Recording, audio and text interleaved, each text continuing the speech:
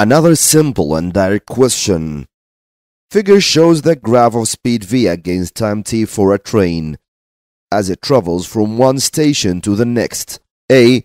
Use the graph to calculate number 1, the distance between the two stations.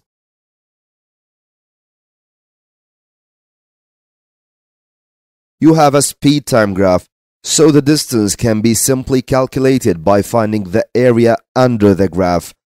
This is a trapezium. Distance equals area under graph of the trapezium, which is given by base 1 plus base 2 divided by 2, multiplied by the height. Base 1 is 150. This base on the time axis. Base 2 is 120, which is the upper one.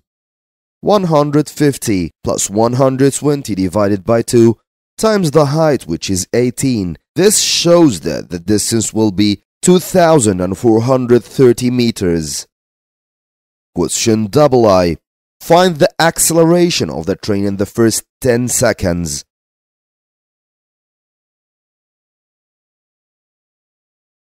Finding the acceleration from the speed time graph is by calculating the slope.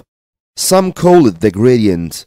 So acceleration, the slope, equals y2 minus y1 divided by x2 minus x1. This is for the first 10 seconds.